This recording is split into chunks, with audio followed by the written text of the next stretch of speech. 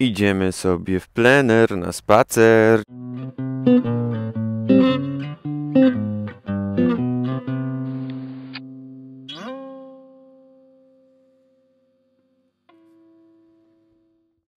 Cześć. Idziemy dzisiaj sobie pospacerować razem z aparatem. Przejdziemy się e, krótkim spacerem e, po moich okolicznych łąkach, ścieżkach, mało uczęszczanych, bo z racji tego, że mieszkam na wsi, no, ludzie dziwnie patrzą na ludzi z gadają, gadających do kamery, więc idziemy sobie łąką, gdzie praktycznie nikogo nie ma i nikt przy okazji nam nie będzie przeszkadzał w fotografowaniu, opowiadaniu o tym. Podstawowa zasada Yy, jak jest zimno, musicie się dobrze ubrać. Oczywiście nic Wam nie może przeszkadzać w myśleniu. Fotografia, typowa analogowa yy, jeszcze bardziej skłania nas do myślenia, bo nie mamy yy, miejsca na karcie, gdzie możemy sobie pstrykać nie wiadomo ile zdjęć, każdy to wie, tylko trzeba myśleć. A jak nam gdzieś tam zimno jest w ręce czy w nogi, no to nie jest super przyjemnie, żeby, żeby jeszcze rozmyślać, co tu, co tu ująć na fotografii. Dlatego rękawiczki, czapunia, jeszcze wiosny nie ma, trzeba się ubrać. Nagrywam tak e, na razie troszeczkę w wersji, e, można powiedzieć, snapchatowej, ale e, zaraz przyjdziemy, mam nadzieję, jak dojdziemy do jakiegoś fajnego obiektu, fajnego miejsca, które można sfotografować, Mm, i zmienimy pozycję kamery na czołową i będziecie widzieć to, co ja widzę. Fotografujemy e, aparatem Nikon F301, e, o którym opowiadałem wcześniej.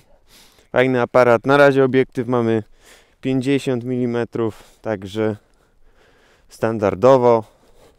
Ja odnajduję tak jakby swoje miejsca, które bardzo osobiście lubię i to to uważam jest bardzo y, ważną rzeczą dla tych, tych y, fotografów początkujących, żeby nie robili czegoś na siłę, żeby spróbowali znaleźć y, siebie w tym miejscu, gdzie są, gdzie czują się luźno, gdzie czują się swobodnie. Tam jest taki kod i się czai. Gdyby się ruszył, to bym może go zrobił. Udaje, że, go nie, że mnie nie widzi. Mam ustawioną preselekcję. Zazwyczaj jak robię e, zdjęcia typu e, takiego, e, że chciałbym, żeby było w miarę wszystko ostre, ustawiam między 5,6 a 8, w zależności jak jest jasno, przesłonę tutaj na obiektywie, a czas dobiera się sam. Pewnie wyjdzie jakaś 1,60 albo jedna setna.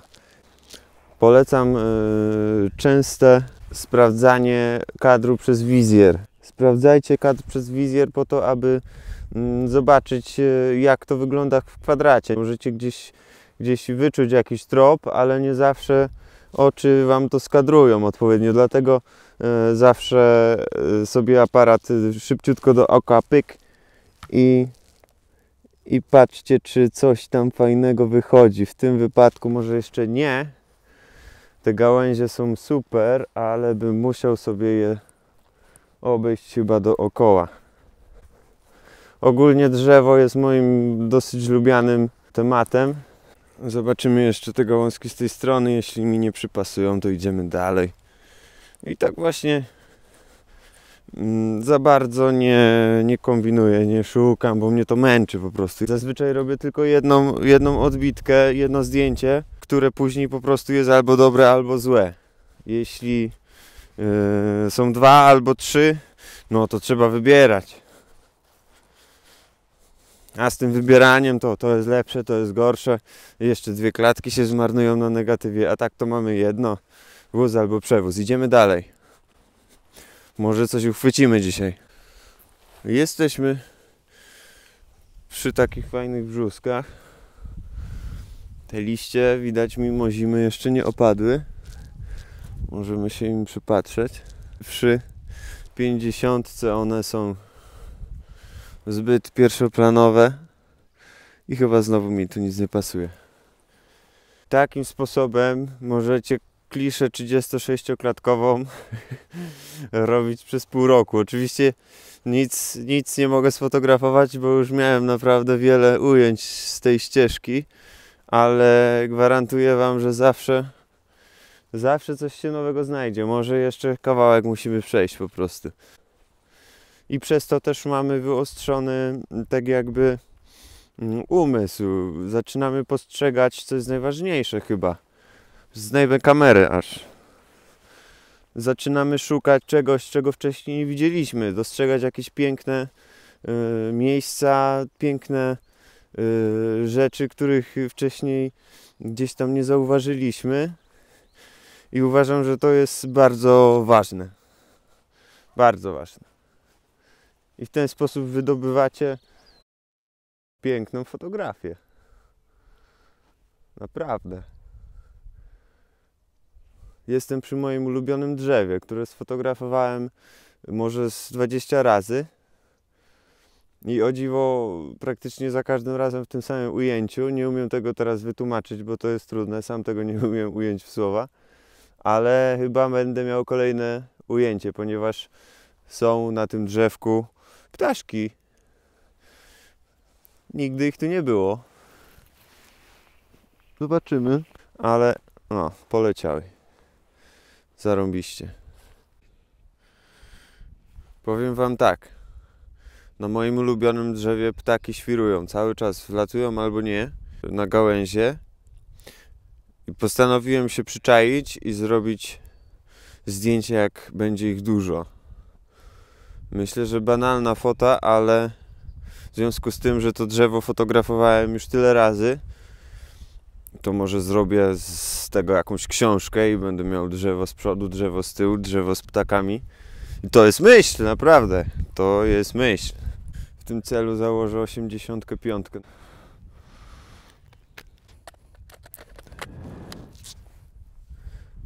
I przyczajka. Nie sądziłem, że będziemy się bawić w fotografów przyrody, naprawdę. Ale najwyraźniej te ptaszki to tutaj chyba chcą raczej uciec, a nie usiąść. Robię zdjęcie w pionie, bo drzewo rośnie do góry, pionowo. Niestety. Poleciały. To jest męczące.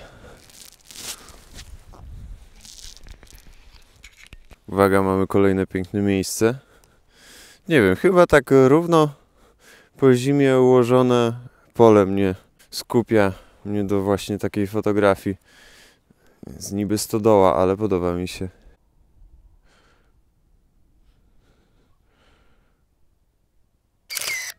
No to już widzicie, że to, to nie jest wcale jakieś super trudne. Wystarczy znaleźć miejsce, które wzbudza w Was emocje i sfotografować. Możecie znaleźć sobie takich miejsc bardzo dużo zrobić z tego serię, pokazać ludziom, albo nie pokazać, jak chcecie, i cieszyć się z fotografii. Jeśli chcecie mieć mm, fotografię, która Was zadowoli, która będzie dobra, to musicie ją czuć. Ja mam tak, że ją czuję y, często przed zrobieniem zdjęcia. To znaczy, już jak zrobię zdjęcie, już, już czuję, że to będzie dobre, aczkolwiek nie zawsze. To nie jest reguła, że musicie zrobić zdjęcie i, i już wiedzieć przed wywoływaniem, że, że, to jest, że to jest to. Często można robić właśnie zdjęcia w ten sposób. Ja się tego nauczyłem niedawno i, i doświadczyłem to na swojej skórze, że mm, chcę robić zdjęcia, ale nie wiem czego bo się przyzwyczaiłem do tej metody, że muszę wiedzieć, że to zdjęcie będzie super. A nie zawsze tak e, trzeba robić. Wystarczy mm, troszeczkę poczuć czegoś, e, tej weny, no wena to jest bardzo dziwne słowo, ale e, poczuć, e, że akurat to, to, to zdjęcie, to miejsce mm, w ten sposób skomponowane będzie ok, a dopiero później po wywoływaniu to zdjęcie nabiera jeszcze większej mocy.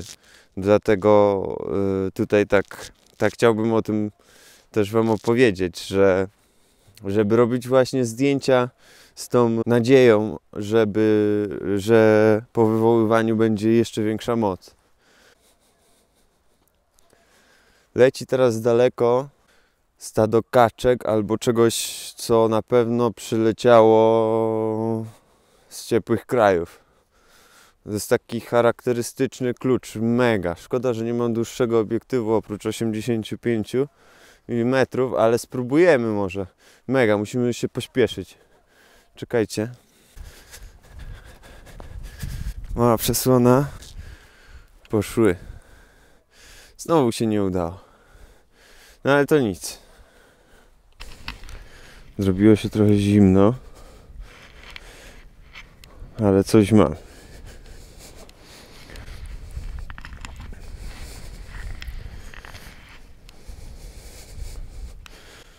Ja lubię takie perspektywy yy, dosyć uporządkowane.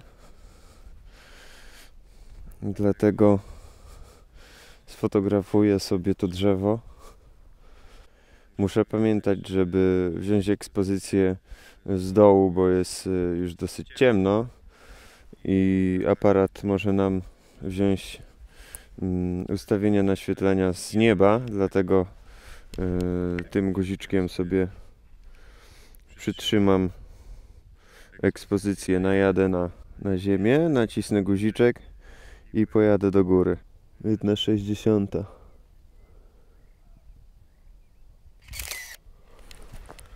Pyk. I mamy następną fotę. W GoPro to niebo to już w ogóle wypas. Zobaczcie. Jest git. Zrobiliśmy parę zdjęć. Mam nadzieję, że coś, coś Wam to dało, że pokazało Wam w jaki sposób jeszcze można sobie fotografować. Taki luźny dosyć. Aczkolwiek nie mamy mojego drzewa z ptaszkami, pofrunęły. to nic. Mamy jeszcze parę zdjęć. Skończymy negatyw i będziemy go wywoływać. To w następnym odcinku, a na tą chwilę muszę Was zaprosić do subskrypcji. Yy, zrobimy tutaj Facebook, Snapchat. A jakby ktoś nie wiedział o co chodzi, po prawej stronie na dole, mojej prawej, jest e, kanał, e, jest film z, poprzedni, z poprzednim odcinkiem, który można sobie zobaczyć i obejrzeć. Na razie.